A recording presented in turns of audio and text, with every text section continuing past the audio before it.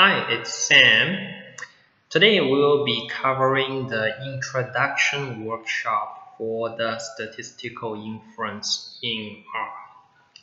Let's open the R Studio introduction section. Okay. In this lesson, we'll briefly introduce the basics of statistical inference, the process of drawing conclusion about a population using noisy statistic data where uncertainties must be accounted for. In other words, statistical inference led scientists, the data scientists formulate conclusion from data uh, and quantify the uncertainty arising using the incomplete data. So in the business analytics domain, we want to generate business insights. What are the trends going on and how confident that, say, the sales forecast uh, in the next three months uh, will go up by how much percentage, say 5%, then how uncertain we are about the 5%. It is plus minus 1, plus minus 0.5% how confident we are. So yeah, so this is statistical inference.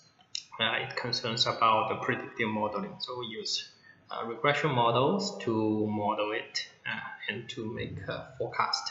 So there will be um, more advanced predictive models for statistical inference.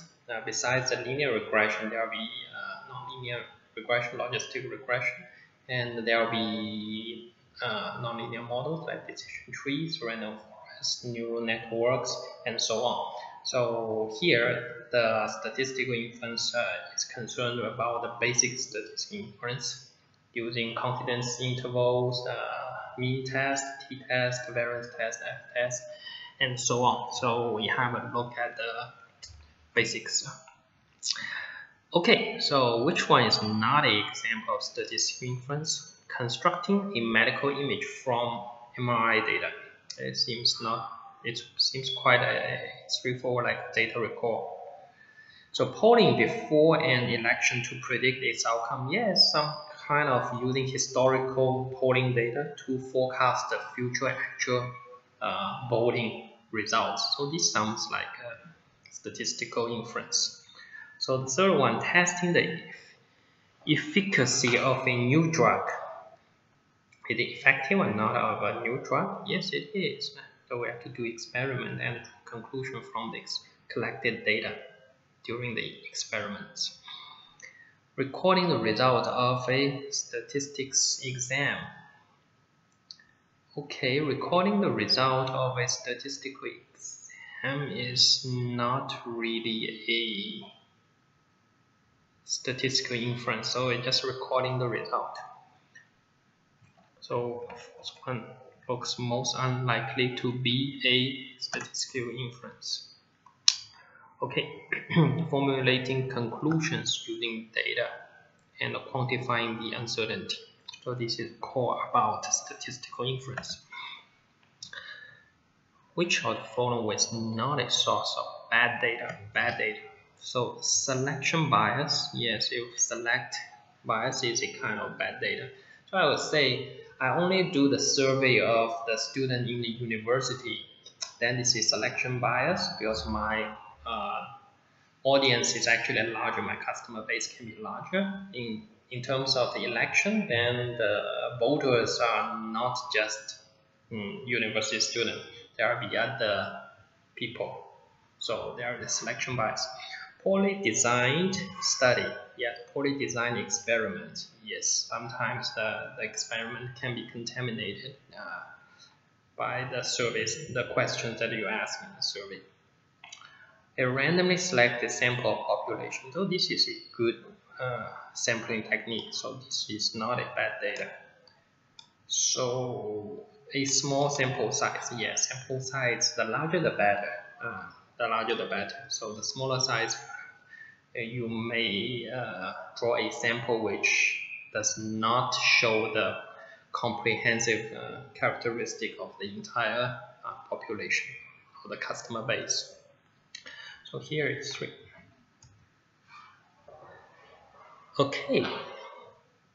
With statistical inference, we use data to draw general conclusion about a population.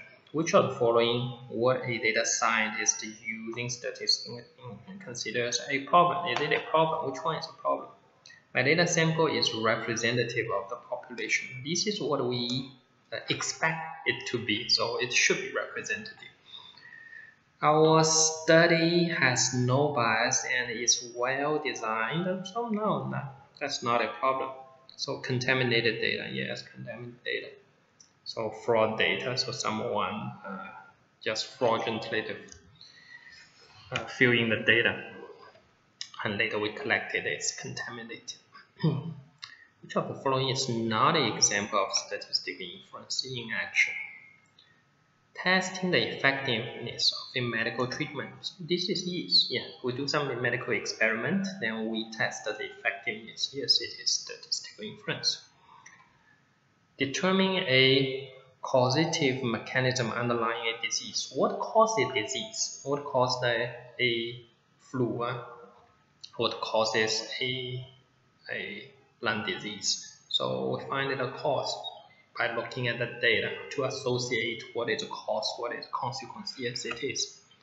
Counting sheep. Yeah, counting sheep apparently it's uh, we don't really need to do some inference. We just count one by one, recording it. So data collection, data recording is considered as inference. We're not making predictions. Estimating the proportion of people who will vote for a candidate. Yes, data is, is we have to estimate. Yeah. Estimation involves uncertainty uh, and prediction under uncertainty. Okay, we want to emphasize a couple of important points here. First, statistics singular is a number calculated from a sample of data. Statistics, for example, the mean value, median value, standard deviation, these are all called statistics of a sample to infer information about a population. Second, random variable is the outcome from an experiment deterministic process such as computing means variance applied to random variable produce additional random variables which have their own distributions. It is important to keep straight of those distributions you are talking about. So yeah, when we're using histograms, we can plot the data's distribution. Is it normally distributing? Is it skewed left, skewed right? Is it uh, mirrored? Is it symmetric or not symmetric?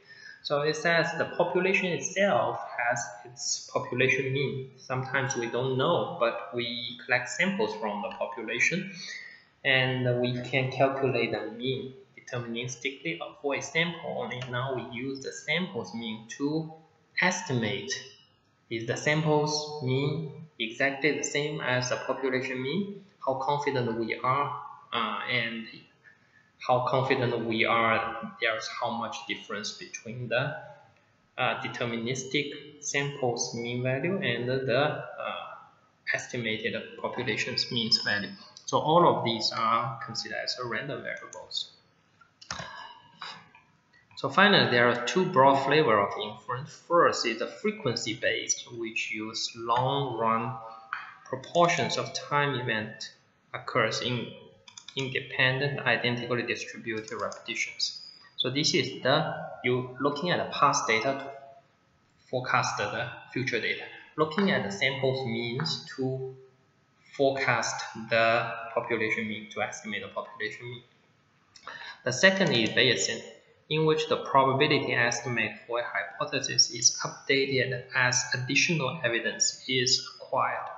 So both flavors require understanding of probability. So what's the next lesson we'll cover? So probability. So Bayesian network is about, okay, uh, uh, I'm not sure. I'm asking that will tomorrow rain or not? Will tomorrow rain or not? So without any uh, additional information, I would say probably 50% tomorrow will rain. Then in today evening, late evening, I found that wow, it's pouring heavily. Cats and dogs are pouring cats and dogs, so raining heavily near the midnight. So with this additional information or evidence, then we need to update my belief for the probability of rain tomorrow. So it's more likely tomorrow will continue to rain uh, by knowing that in the late evening today it is raining or heavily uh, clouded. So with additional in, in evidence or information, then we update our belief for the probability of another event, say tomorrow's rain. So this is a Bayesian reasoning, Bayesian uh, inference. Okay. Okay, okay. This is the end of this uh, introduction, short introduction of statistical inference. So statistical inference concerns about looking at the past data and use the past data's measurements, statistics, mean value, average, uh, uh, past five years sales forecast, sales values uh, to forecast the next five years sales uh, number.